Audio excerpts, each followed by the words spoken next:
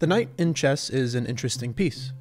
Its moves are L-shaped, meaning it can move two squares either up, down, left, or right, and then one square in a perpendicular direction. Depending on where the knight is placed, it always has 2 to 8 squares that it can jump to, assuming that there are no other pieces on the board of course. But let's make things a bit more interesting here. Let's eliminate the borders and create an infinitely large chessboard. So now the knight always has 8 squares that it can jump to, regardless of where it's located. Now, in an effort to examine the knight's reach, I propose the following question. How many distinct squares can the knight end up on after it has moved 100 times? In other words, if we assume some arbitrary starting point, then after successfully making 100 moves, how many different squares can the knight potentially be on? Keep in mind, the knight can use all 100 moves to go as far out as it pleases, but it can also use the same square more than once, and so a back and forth maneuver like this one is not out of the question. And just a heads up, try not to make the mistake of including all the squares that the knight comes in contact with along the way to 100 moves.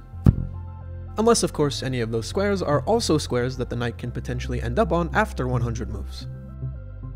Here's your chance to pause the video, if you'd like to think about it some more before we go through it together.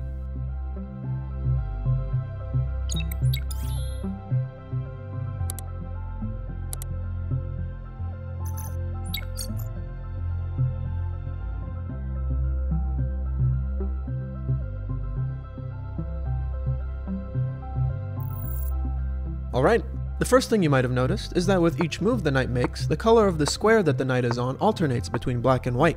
So, since 100 is an even number, then after making 100 moves, the knight can only end up on squares whose color reflects that of the starting square, which in this case is white.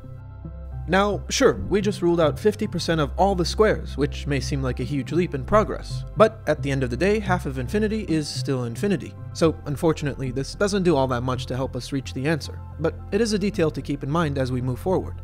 Let's instead examine smaller instances of the puzzle, and see if we can pick up on any useful insight. Let S of n represent the number of distinct squares the knight can end up on after making an n number of moves. And without loss of generality, let's assume that the knight starts on a white square. As we've already seen, after making one move, the knight can end up on 8 distinct squares. After two moves, the knight can end up on 33 distinct squares. And after only 3 moves, we're already up to 76 distinct squares.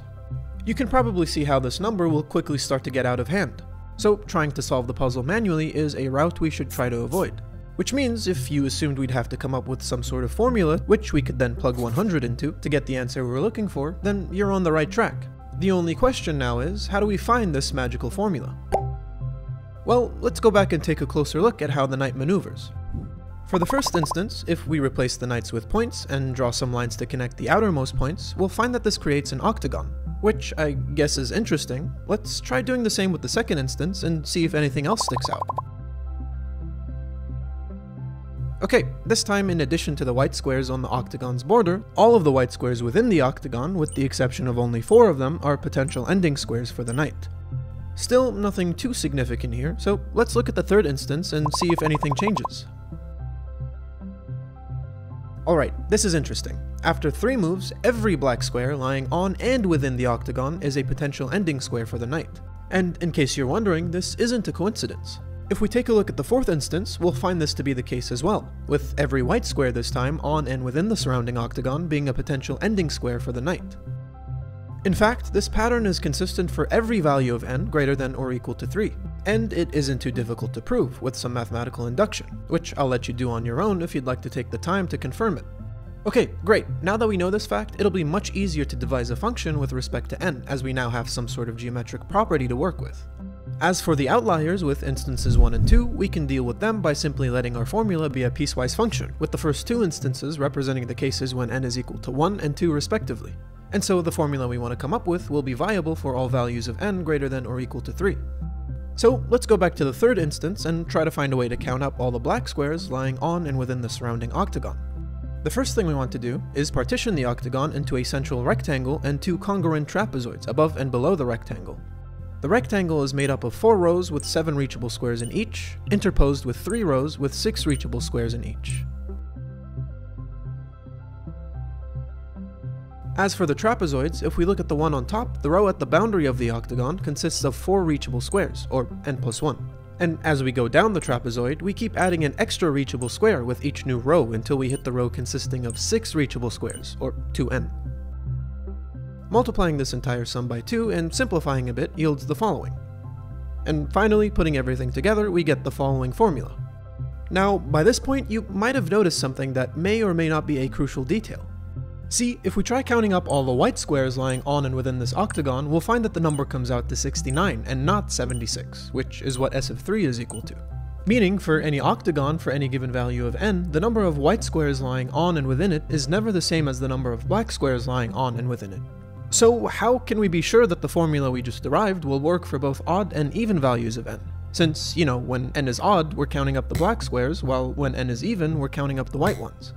Well, to answer that question, we should probably take a look at the fourth instance to check if our geometric reasoning stays intact. And funny enough, it does. We still have a central rectangle made up of n plus 1 rows with 2 n plus 1 reachable squares, interposed with n rows with 2 n reachable squares. And similarly, we have trapezoids that start with n plus 1 reachable squares at the octagon's boundary and eventually go up to 2n reachable squares. Alright, great, just like that, we have our formula for all values of n greater than or equal to 3. And so, plugging 100 into this, we can see that the number of distinct squares that the knight can end up on after making 100 moves comes out to 70,401. Okay, here's a similar question for you to think about. How many distinct squares can the king end up on after making 100 moves on an infinite chessboard? And for those who are unfamiliar, the king moves to any neighboring square, whether it's horizontally, vertically, or diagonally. Leave your thoughts and answers in the comments below. And if you enjoyed the video, please don't forget to leave a like, it really helps the channel out a lot. And while you're at it, subscribe to stay tuned for the many more math videos coming very soon.